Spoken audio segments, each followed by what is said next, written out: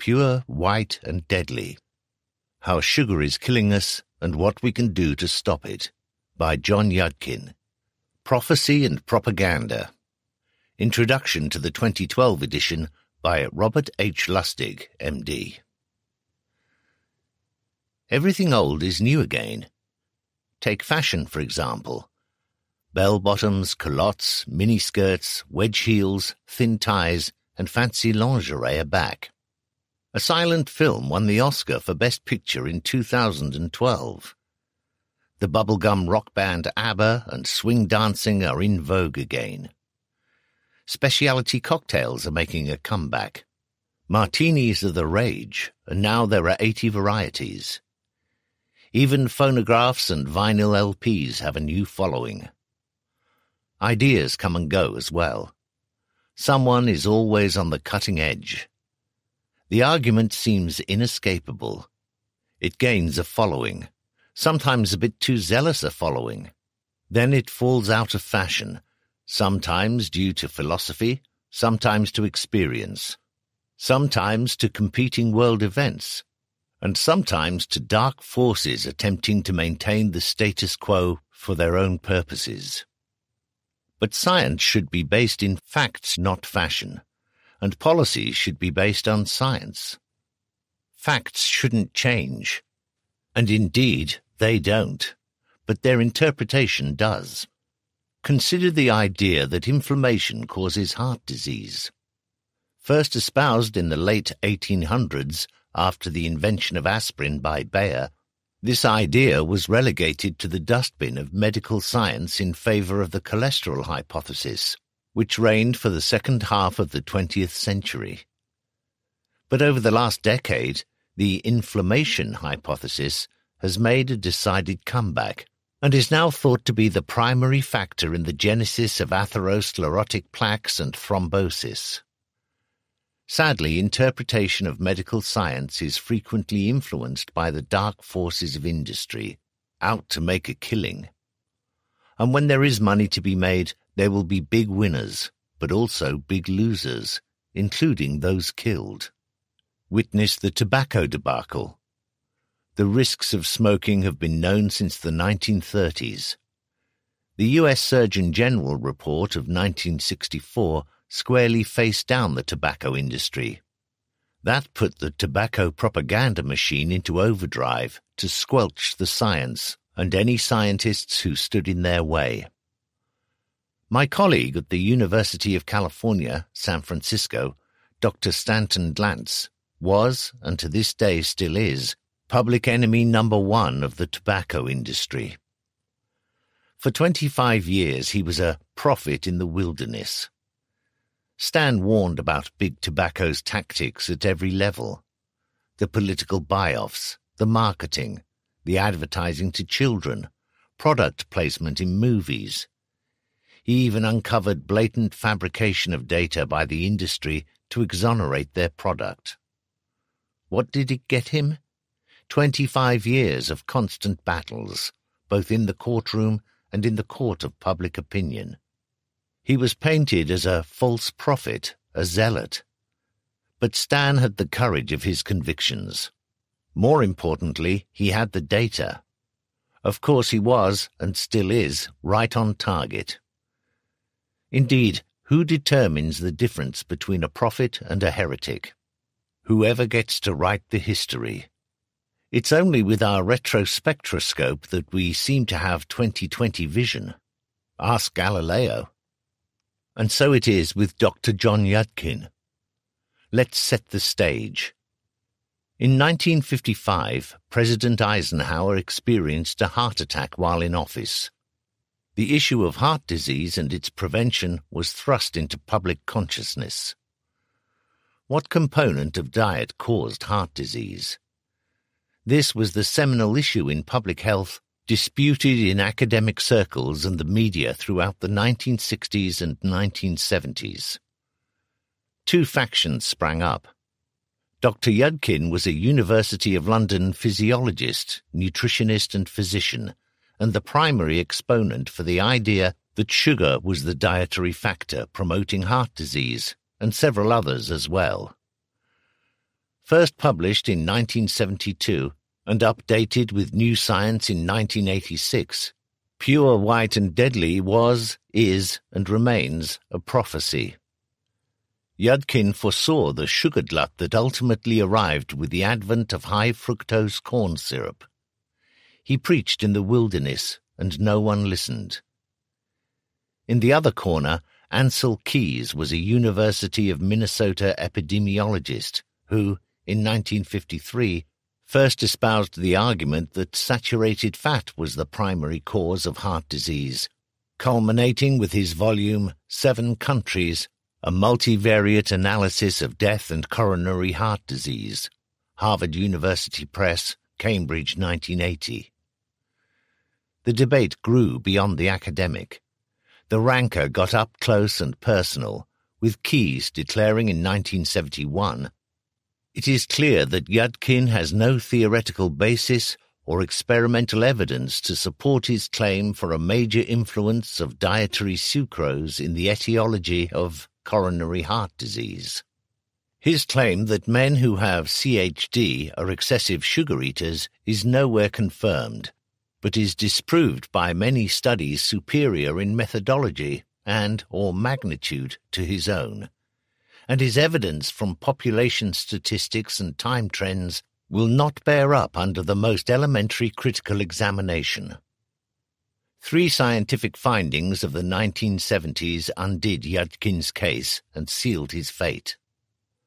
Firstly, by studying the genetic disease, familial hypercholesterolemia, victims experience heart attacks as early as 18 years old, Michael Brown and Joseph Goldstein discovered low-density lipoproteins, LDL, and the LDL receptor, which won them the Nobel Prize leading to the hypothesis that LDL was the bad actor in heart disease. Secondly, dietary studies showed that dietary fat raised LDL levels. Thirdly, large epidemiological studies showed that LDL levels correlated with heart disease in populations. Slam dunk, right? It's the fat, stupid. The Pharisees of this nutritional holy war declared Keys the victor, Yudkin a heretic and a zealot, threw the now discredited Yudkin under the proverbial bus, and relegated his pivotal work to the dustbin of history, as this book went out of print and virtually disappeared from the scene.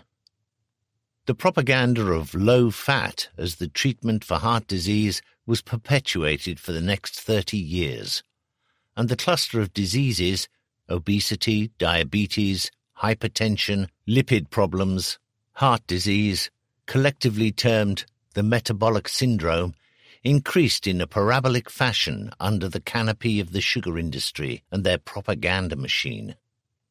But good ideas die hard. Larger studies started to demonstrate that serum triglyceride levels correlated with heart disease with sugar consumption being the primary driver. And there wasn't one type of LDL, there were two. Large buoyant LDL, driven by dietary fat, but which was neutral in terms of heart disease, and small dense LDL, driven by dietary carbohydrate, and which oxidizes quickly, driving atherosclerotic plaque formation, hardening of the arteries. The Atkins diet was now being taken seriously. Carbohydrates started to assume center stage in promoting metabolic disease, with sugar consumption implicated as the most notorious carbohydrate. I stumbled upon Dr. Yudkin quite by accident in 2008. I was in Adelaide, Australia, giving a talk at the Australasian Association of Clinical Biochemists on my research into the role of sugar in the pathogenesis of metabolic syndrome. Dr. Leslie Bennett said to me, Surely you've read Yudkin, and I admitted I hadn't. When I got home, I looked for Pure White and Deadly and couldn't find it in our UCSF library or in any bookstore in San Francisco. Eventually, I got it by interlibrary loan. I opened the book, and it opened my eyes. I already knew from my own work that sugar at our current rate of consumption is a medical disaster.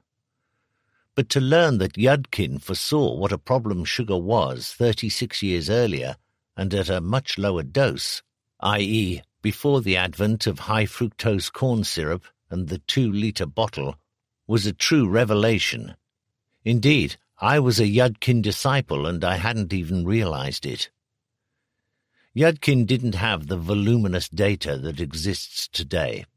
He had correlation, but not causation. He didn't have mechanism.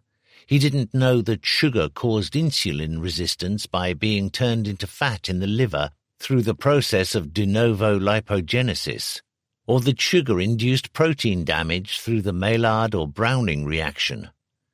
He didn't know that sugar was weakly addictive, although he surmised it. Despite that, Pure White and Deadly draws direct lines between sugar and dental caries, gout, autoimmune disease, heart disease, and cancer. Indeed, it shows that sugar consumption and mortality rates go hand in hand. In the face of the current science and nutrition explosion and the fall of the low-fat hypothesis, Penguin Books UK has chosen to reissue this old book, which is new again. We are now almost 27 years removed from Dr. Yudkin's 1986 update. Surely, with all we've learned, this book must now be obsolete, isn't it? Not at all. First of all, true prophecies don't go out of style. That's like saying Darwin's origin of the species is irrelevant because Darwin didn't know what genes were. Secondly, it is a signpost on a journey of pilgrimage. It provides you with perspective on where you've come from and where you're going. And lastly, Yudkin correctly fingered the sugar and food industries for what they were and still are. Those who don't understand history are condemned to repeat it especially in the face of persistent propaganda. And this book is history. I'm proud to be a Yudkin disciple, to contribute to resurrecting his work and his reputation, and to assist in the advancement of his legacy and public health message. Every scientist stands on the shoulders of giants. For a man of relatively diminutive stature and build, Dr. John Yudkin was indeed a giant. Introduction to the 1986 edition. A great deal has been written about sugar. There are dozens of books about the cultivation of the sugar cane and the sugar beet, including books that describe the shameful story of the slave trade between Europe, West Africa, and the Caribbean. There are dozens of books giving the technical details of sugar refining and the manufacture of sugar-containing food and drinks but further accurate information about sugar as a food is not easy to come by. How many people eat more than average and how many people eat less? Who are the small consumers and who are the big consumers? And what are the smallest and largest amounts consumed?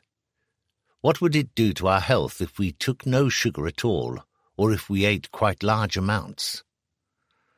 Part of this information can, with some trouble, be found in trade publications, but not all of it. You might think you could get it from the sugar industry itself. They undoubtedly have active information centers in many countries. We know what the average sugar consumption is in each country. But it is not possible to get the answer even to such simple questions as how much sugar is in the diets of people of different ages, or what is the range of the sugar content of the diet of 15-year-old British schoolchildren? It may be that the industry simply does not have this information, or it may be that they have it but do not wish it to be known. Especially, we would expect the sugar industry to be knowledgeable about levels of consumption when, in rejecting criticisms of the effects on health, they constantly refer to moderate consumption. Yet what the industry considers moderate must, on any reckoning, be quite a sizable quantity. One of the scientists who most strongly supports the sugar industry has written, The usual range of sugar intake may therefore be between 10 and 30% of total calories, with the average at 15 to 20%. He goes on to say, This rate of sugar intake may be considered moderate and can probably be exceeded somewhat without overstepping the balance of moderation. Much more research has been done on the effects on health of the bread in our diet, or the eggs, or the breakfast cereals, or the meat, or the vegetables, than about the effects of sugar, even though sugar, on average, constitutes about 17% of our diet, a larger proportion than any of these other items. Yet in 1972, when Pure, White and Deadly was first published, what little research there had been already showed that sugar in our diet might be involved in the production of several conditions, including not only tooth decay and overweight, but also diabetes and heart disease. Since that time, research has produced further evidence that sugar is implicated in these conditions, and has also added to the list of diseases in which the sugar we eat may possibly, or even probably, be a factor. Many of the experiments from which these conclusions are derived have been carried out at the Nutrition Department of Queen Elizabeth College, University of London, some of them in collaboration with research workers in the Biochemistry Department. When our experiments have been repeated independently in other research institutes, the results have always been in line with our own. Those who disagree with what we say may therefore challenge the conclusions that we draw from the research, but they cannot legitimately disagree with the experimental results. In this edition, I have taken the opportunity to bring up to date and extend many of the statistics that I quoted earlier. I have also summarized the research that we and others have done during the last 14 or 15 years which has shown more of what happens in our bodies when we eat sugar. I am often asked why we don't hear very much about the dangers of sugar, while we are constantly being told we have too much fat in our diet and not enough fiber. I suggest that you will find at least part of the answer in the last chapter of this book. John Yudkin,